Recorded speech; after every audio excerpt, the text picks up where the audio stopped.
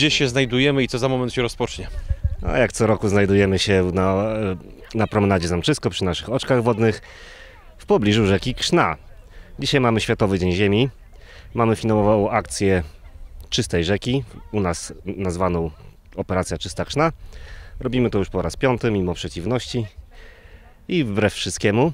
Dzisiaj mamy rekordową liczbę uczestników, więc okazuje się, że to co robimy ma sens i przyciąga coraz więcej ochotników do sprzątania. Ale miejsce rozpoczęcia akcji jest to samo. Ten teren jest już, panie burmistrzu, wysprzątany. Gdzieś dalej pójdziecie? Będziemy dzisiaj sprzątać dosyć duży teren z racji tego, że mamy około 60 wolontariuszy. Musimy ich trochę podzielić, tak żeby to sprzątanie miało sens i żebyśmy nie chodzili jeden za drugim. Chociaż ze śmieciami trochę tak jak z grzybami jeżeli przyjdzie 5 osób, to ten piąty na pewno jeszcze coś znajdzie. Obserwujemy taką sytuację, że tych śmieci, które zbieramy z roku na rok jest coraz mniej, więc uważam, że te akcje, które promujemy wspólnie również z mediami, przynoszą sens, bo tak naprawdę najważniejsze w tym dniu i w tej naszej akcji jest promocja tego, żeby po prostu w miastach i nad tymi rzekami nie śmiecić. Jakieś nowe elementy tej akcji, bo grill był chyba w tamtym roku. Dokładnie mamy, mamy kilka rzeczy, które staramy się powtarzać e, co roku. Mamy małe także prezenty na zakończenie dla wszystkich uczestników. Nowością jest to, że pierwszy raz oprócz naszego OSP Stopno włączyło się także OSP Łuski, więc myślę, że akcja nabiera trochę innego wymiaru i myślę, że zauważane jest to, co robimy, ale panowie chcą się w tą akcję włączyć, więc myślę, że to bardzo, bardzo dobrze.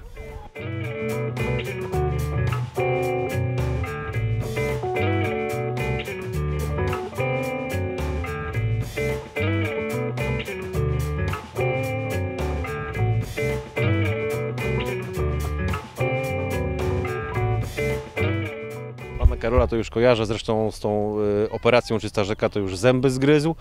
Ale łuski chyba po raz pierwszy przystąpiły w Międzyrzeczu do tej akcji. Po raz pierwszy chcieliśmy w ubiegłym roku, ale tak jakoś nie zgraliśmy się i nam nie wyszło. Z czym żeście przyjechali dzisiaj do nas? To znaczy my przyjechaliśmy z łódką płaskodenną, którą dostaliśmy z Wojewódzkiego Funduszu Ochrony Środowiska od sponsorów na stulecie naszej straży. Była już wykorzystywana? E, To znaczy dwa czy, dwa czy trzy razy pływała nad Jeziorem Białym przy podejmowaniu skoczków spadochronowych E, i raz byli w Janowie chyba na zabezpieczeniu jakiejś tam W imprezy. akcji też brała udział na, na mm, Kanale, na kanale. na kanale, na poszukiwaniu topielca, tak. Ja przypominam.